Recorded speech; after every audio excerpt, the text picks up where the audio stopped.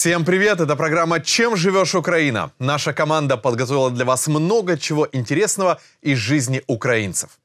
Сегодня расскажем и покажем вам новый корабль в Одесском порту, Киевский мост «Долгострой» и примеру клипа «Вельбоя». Ну что, поехали!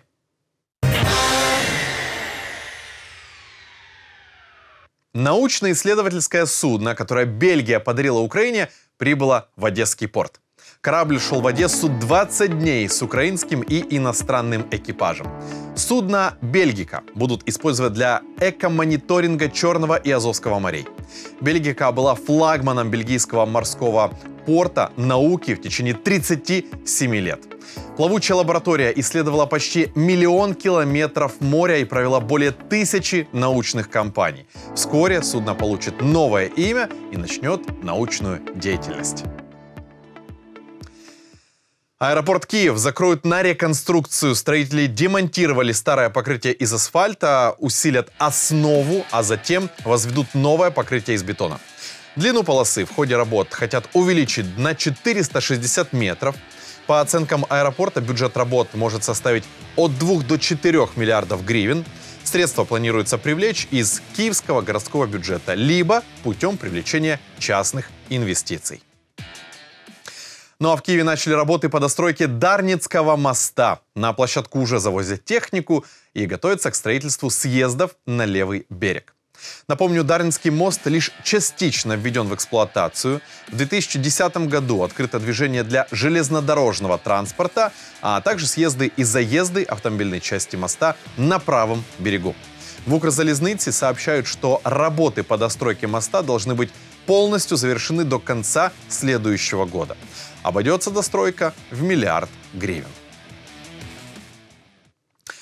Саженцы деревьев в обмен на макулатуру. Такую акцию организовали в Днепре.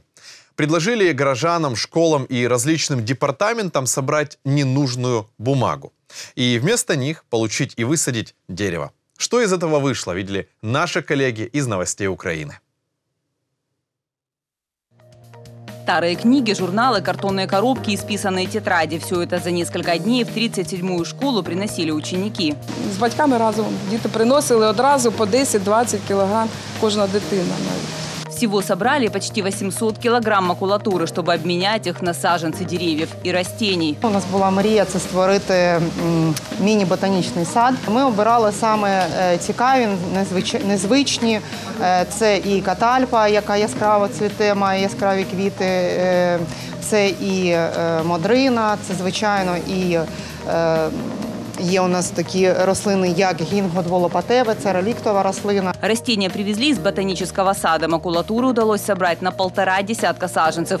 По 70 килограмм за каждый. Ее теперь отдадут на переработку. Ми і звільняємо місце на наших сміттєзвалищах, і ми висаджуємо замість цього дерева, які будуть виробляти чисте повітря для нас. В акции уже приняли участие два десятка городских школ. Все вместе собрали более трех тонн макулатуры. Всі школи, в залежності від того, яку кількість макулатури вони назбирають, вони отримують таку кількість насаджень.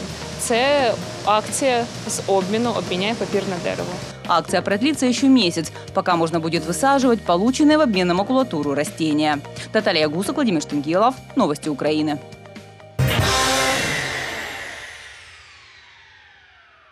Тридцать экспонатов, самый древний из которых датируется второй половиной 17 века, теперь можно увидеть в сокровищнице Национального музея истории Украины на территории Киева-Печерской лавры. Уникальные драгоценные экспонаты, дары от казацкой знати храмом Лавры, которые чудом сохранились.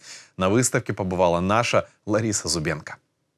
Целый год организаторы собирали уникальные экспонаты. Все это дары от казацкой старшины местным церквям. Тогда традицией было заказывать у ювелиров эксклюзивные изделия и жертвовать их церкви. Священники же молились за здоровье меценатов и их родных. Эти предметы для богослужения подарил церкви Гетман войска Запорожского Иван Самойлович. Их, по словам историков, изготовили в 1686 году. замовив на спомин душі своїх померлих дітей е, Семена Івановича, Який вже був полковником на той час, і на нього покладались великі несподівання. І Параскеви Іванівни, е, яка вже стала дружиною е, Шереметєва, генерал-губернатора Києва. І там були такі своєрідні політичні розклади, але в один рік вони помирають. Це було дуже великим ударом по Самойловичу. Есть здесь и уникальные издания Евангелий, украшенные золотыми драгоценными камнями. Ця книга 1722 року в коштовному окладі і в центрі ось саме зображення лаври. Е, Засновники монастиря Антоній та Феодосій Печерський. Ми це зображення взяли із Митри. Митра митрополита золота. Другої половини 18 століття такі митри носили митрополити. Вона є уособленням тернового вінця Спасителя, виготовлена з золота, прикрашена перлами, емалевими дробницями, медальйонами. Выставка имеет особую ценность, ведь экспонаты – драгоценные реликвии, которые чудом сохранились на протяжении трех веков. воссоздание этого собрания огромного. Это, по сути, это было вот как большое музейное собрание. Действительно впишет еще одну историю, еще, еще одну страницу в историю украинского искусства и э, в историю Украины. Э, Когда мы сможем восстановить имена этих людей, вспомнить о них. Выставка экспонатов времен украинского казачества продлится до 31 декабря. После все эти объекты можно будет найти на стендах Национального музея истории Украины. Лариса Зубенко, Максим Градобык. Новости Украины.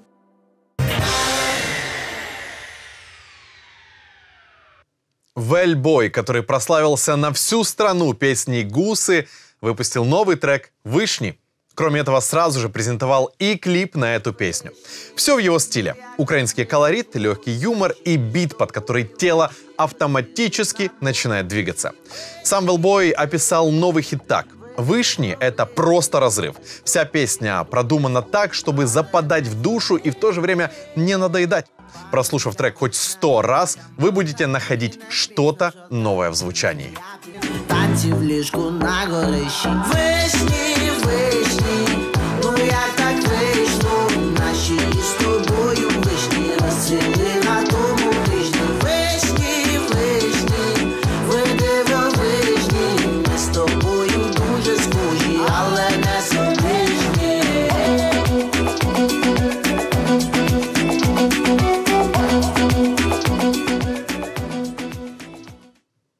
Пишите в комментариях под этим видео, понравился ли вам клип, и обязательно ставьте лайки и подписывайтесь на нашу страничку в YouTube.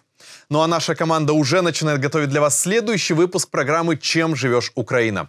И помните, эта программа без политики. Говорим только о нас, украинцах, веселых, добрых и заботливых. Пока!